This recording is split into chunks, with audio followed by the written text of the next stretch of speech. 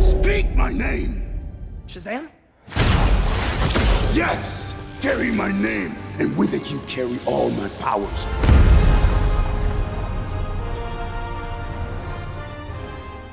Iako je ovo lik danas poznat kao Shazam, on se nekada zvao Kapetan Marvel, a Shazam je bilo ime starog čarobnjaka koji mu je dao moći drevnih bogova kako bi se borio protiv zla.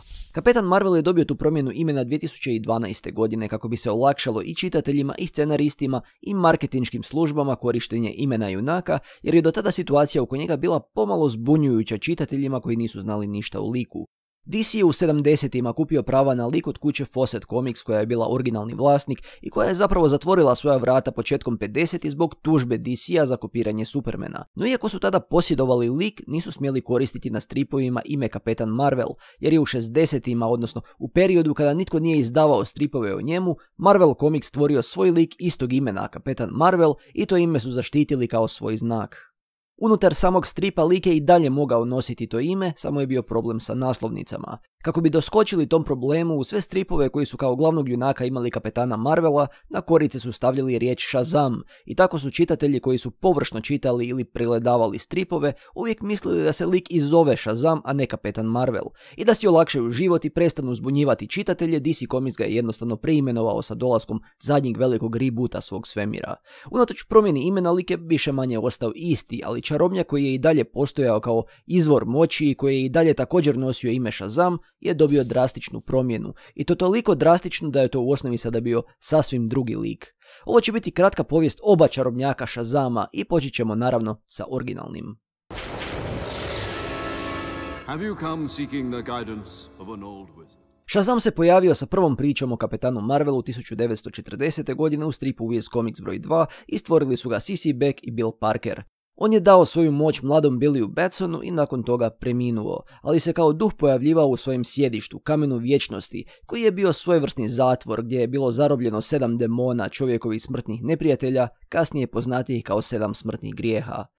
Kako je nakon gašenja Foseta kapetan prestao izlaziti, tako je naravno i Shazam nestao, dok DC Comics nije preuzeo likove i pokrenuo nove serijale. I tada je Čarobnjak konačno dobio svoju priču o postanku, koja je samo dodatno proširena nekoliko godina nakon dolaska modernog vremena i ponovnog pokretanja DC-evog svemira 85. godine.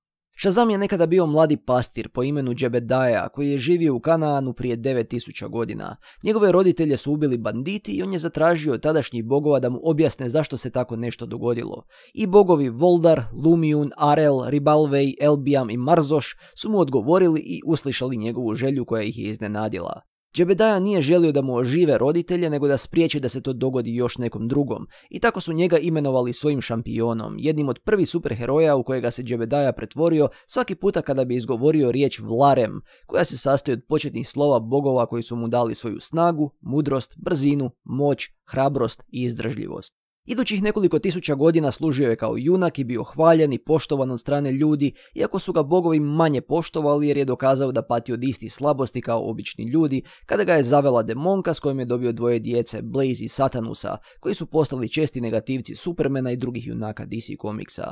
Jedno od najvećih čudovišta koje je prijetilo drevnoj zemlji bio je troglavi zmaj, kojega su šampioni bogovi zajedno morali pobijediti, tako da su ga teleportirali u vječnost izvan vremena i prostora, gdje ga je šampion zarobio između dva kamena, jednog iz raja, drugog iz pakla i tako je rođen kamen vječnosti, mjesto izvan stvarnosti, vremena, prostora i u osnovi svemira, jer se smatra da se nalazi u središtu multiverzuma, iako se položaj mijenjao kroz godine od priče do priče. U ovoj borbi je prije rebota svemira sudjelovao i moderni kapetan Marvel koji je otputovao u prošlost pomoći šampionu, ali taj dio je uklonjen u 90-ima. Džebedaja je osuđen na vječno čuvanje kamena vječnosti koji je kroz vrijeme postao još veći zatvor ne samo za zmaja, već i za sedam smrtnih grijeha i druga stvorenja i demone. Šampion je kroz godine postao vođa grupe junaka, bogova i polubogova, Solomona, Herkula, Atlasa, Zeusa, Ahila, Merkura i Ogara. Da, bio je tu i jedan po imenu Ogar. Oni su služili ljudima i branili ih od raznih katastrofa i drugih zala koja su im prijetila u drevno vrijeme. Kao njihov vođa uzeo je ime složeno od prvih slova njihovih imena. Prozvao se Shazamo. Ogar se pobunio protiv njega jer ga je smatrao starim i htio je preuzeti vlast nad junacima, ali ga nije uspio pobijediti i tako je izbačen iz grupe.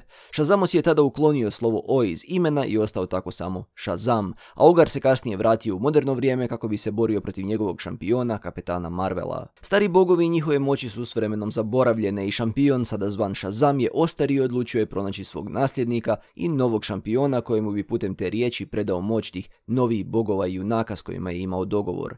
U drevnom Egiptu odabrao je tet Adama koji je tada postao moćni Adam, ali Adama je ubrzo opila moć i izdao je Shazama koji ga je tada zarobio i prozvao crnim Adamom.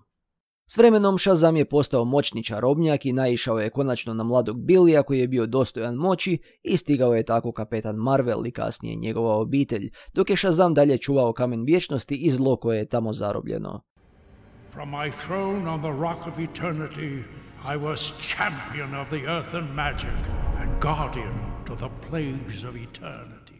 Naravno, avantura je kroz vrijeme bilo mnogo, zla su oslobođena pa ponovno zarobljena, kamen je nekoliko puta bio uništen pa sagrađen, Shazam je umro pa oživio, crni Adam se vratio i borio protiv njih uz brojna druga događanja koja su pisci osmišljavali.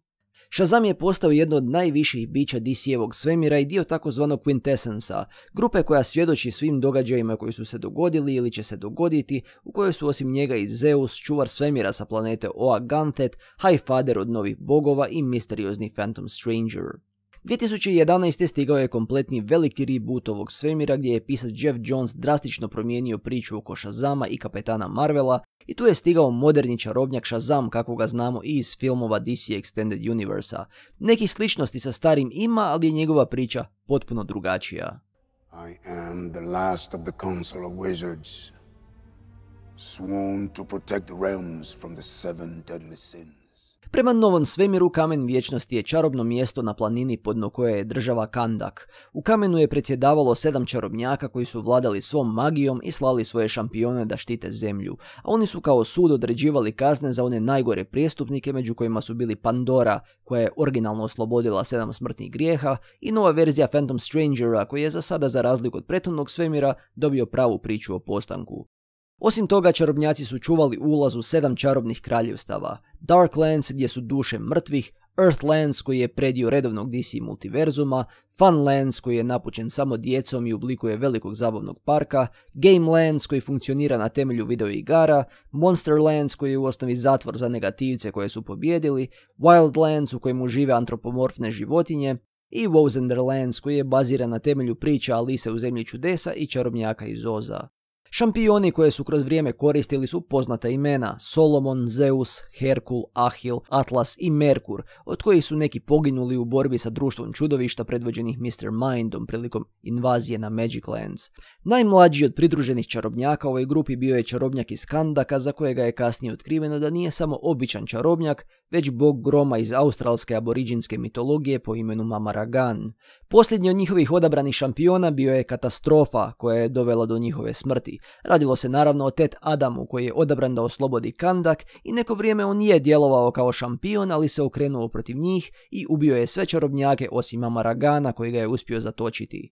Mamaragan je tako ostao jedini čuvati zla zatočena u kamenu vječnosti, dok u moderno vrijeme dr. Sivana nije oslobodio crnog Adama i čarobnjak je tada krenuo tražiti svoju zamjenu koju mu bi dao moći prethodnih šampiona i odabrao je Billya Betsona, iako mu se nije svidio na prvu jer je smatrao da nema čisto srce, ali nije imao više izbora i vremena čekati. No strah da nije opet pogriješio kao sa Adamom je ipak bio tu negdje. Ipak na kraju dobro je odabrao, Billy je postao Shazam, njegova proširena obitelj novi čarobnjaci, a Mama Ragan je na izgled umro i napustio kamen vječnosti gdje sada novi set čarobnjaka djeluju kao čuvari čarobnih dimenzija. Mama Ragan je ostao kao duh uvijek tu negdje i pazio je na Bilija i njegovu obitelj, po potrebi je manipulirao sa moćima i dogovarao sa drugim bogovima dijeljenje kada su postojale veće ili nepredviđene okolnosti, pa je tako dijelio i vlastitu moć kao bog groma, pri čemu je on bio posljednje slovo M u čarobnoj riječi Shazam. Kao i prethodna verzija, ima Maragan je postao dio grupe Quintessence ove nove verzije svemira, u kojoj su ovog puta kao i prije Highfather, Ganthet i Phantom Stranger, uz dodatak Here i The Spectra.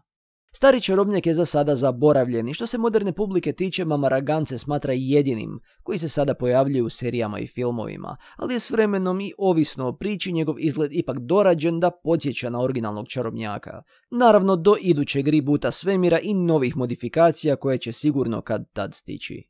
Pozdrav do idućeg videa. My name is Shazam. I spent millennia searching for a worthy champion. You know exactly what must be done.